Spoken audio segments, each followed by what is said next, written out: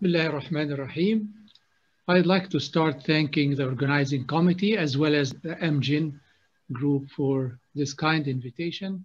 Today I'll talk on an important topic, which is the concept of biosimilars in IBD. In our country, we used to rely upon agriculture and also we used to eat uh, homemade food. And for this reason, we had a very low prevalence of inflammatory bowel disease during the early 70s, 80s, and up to the early 90s. Unfortunately, uh, during modernization and shifting to central Cairo, we started to adopt these bad habits of eating a lot of junk food, minimizing our activity, decreasing the exercise. So uh, this was the result of increasing prevalence of IBD disorders. Uh, it's well known from Ashwin that the urbanization and industrialization will result in emergence and flourishing of IBD among the society and the population in any country. The burden of IBD is gradually, progressively increasing. We know this quite well. And by the year 2025, the prevalence of IBD will be much higher than that projected. This global rise of IBD will require a lot of efforts, not only from us as physicians, but for any healthcare provider who will need to innovate the delivery and the quality of patients' care, putting in consideration the economic and financial issues. The study from Zagazig by Professor Ihab have shown that the prevalence of IBD among the community of Egyptian reaches up to 11.2% with a predominance of ulcerative colitis over Crohn's disease.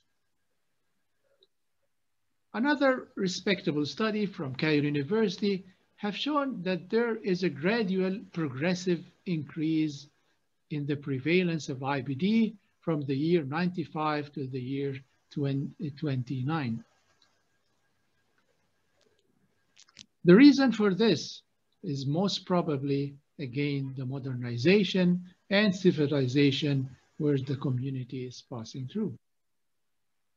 This is the situation, a growing number of patients over years, and this necessitates the awareness of not only physicians, but also patients. And of course, we need to improve the diagnostic facilities to have very simple and easy way to screen and diagnose disorders of inflammatory bowel disease. Above all, we have to reconcile our management protocols, and again, considering financial issues is of utmost importance. We know our goals quite well. It's always to reach mucosal healing, keeping our patients steroid-free and symptom-free, and also avoid surgery, avoid cancer, and keep your patient in a very good quality of life. This is our well-known goal. This review article have shown that we are combating a disease which is really growing and progressing very slowly, but it reached a very, uh, a very big number of patients among our population. To combat this disease, this review articles recommend the use an effective therapy from the early beginning, which could be a biologic for, of course. But it's more important to consider the financial and economic issues, so they also recommend to find a way to decrease the treatment costs. Luckily enough, we have in the market a lot of uh, very powerful medications which are used and reach a, a, remission in a good percent of patients. And even they maintain these patients in a remission for a long time. Most of these drugs are already available in the market. Some of them are in the final stages of being approved, but we have among the pipe a big stream of medications which will be coming soon in the market. Either they are anti-TNF or anti-interleukin 3 or JAK inhibitors or sphingosine phosphate receptor modulators.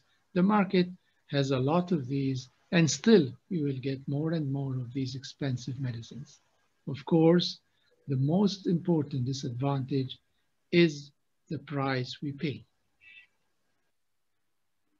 So We know quite well that biologicals have shown a marvelous effect in maintaining the, in our patients with inflammatory disease in remission. But this costs a lot and it, and it throws a lot of burden on healthcare providers. Cost reduction will offer most of our patients a wider access. And of course, biosimilars appear here to have a proven efficacy and safety while they will be considered uh, much cheaper. What is a biosimilar?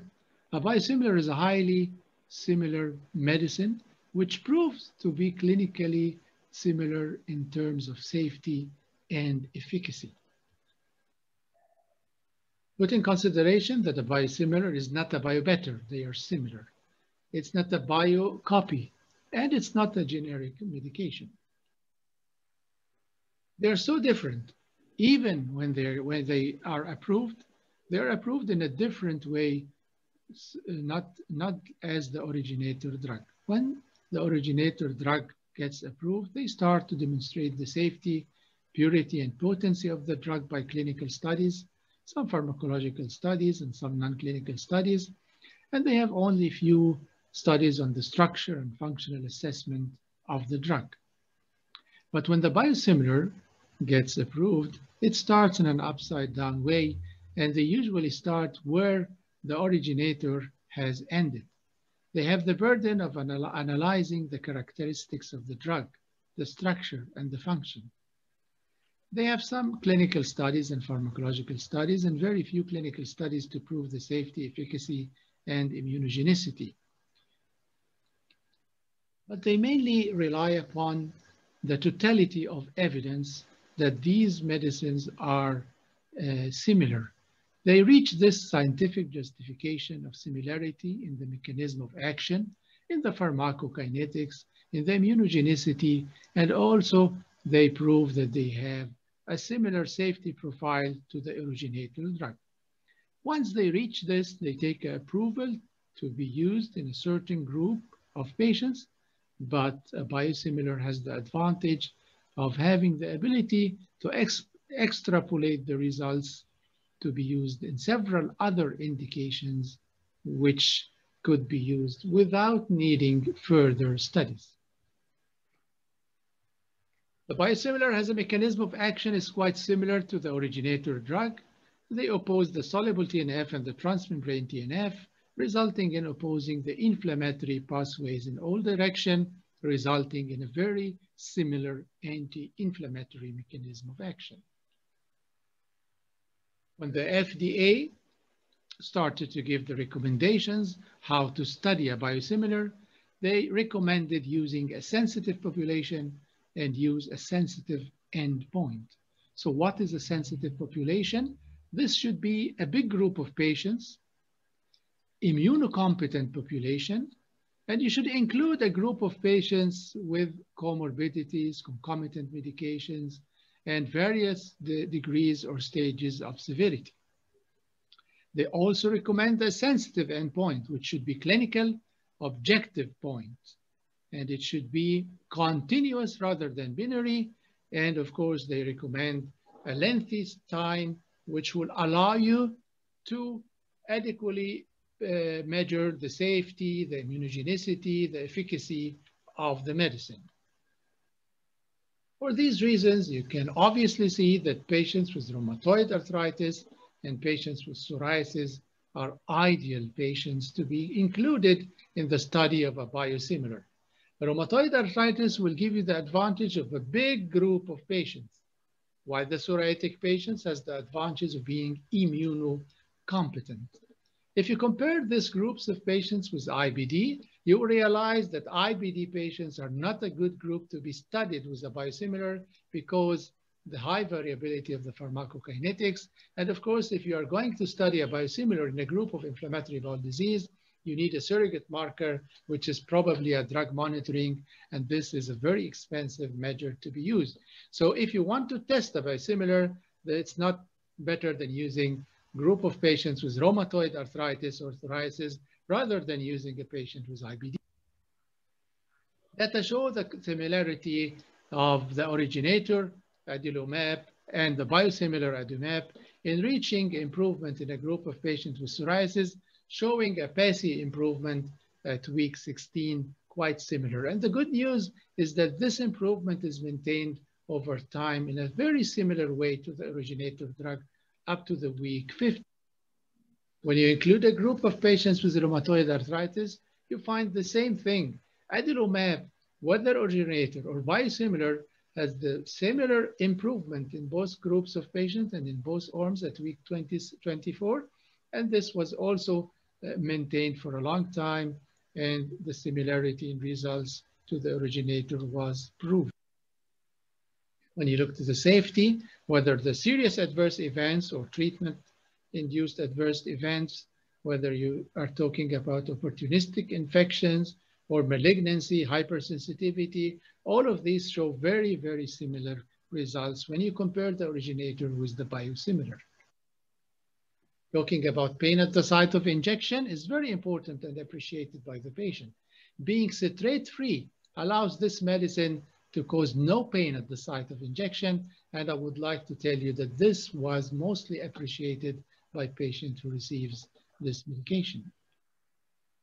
Immunogenicity in the patients with rheumatoid arthritis or psoriasis shows that binding antibodies or neutralizing antibodies have very greatly similarities uh, between the uh, originator and the biosimilar.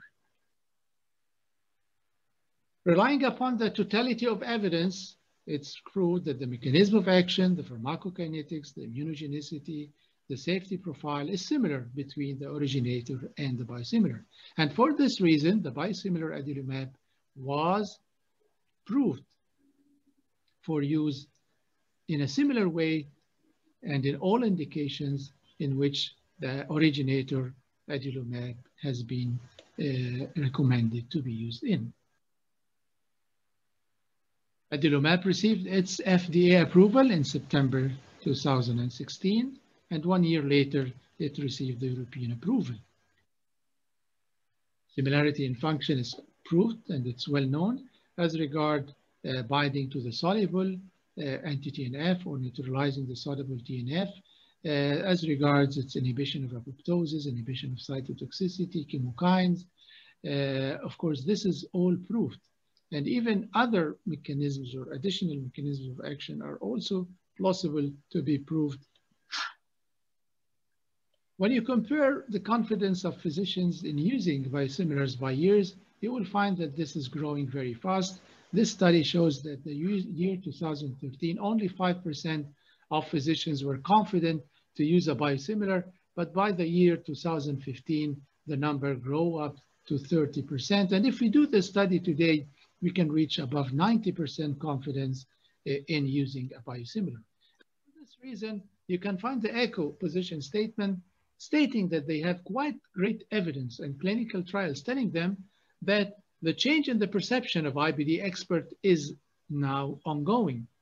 Now, the physicians are very confident in using a biosimilar and the confidence is gradually increasing.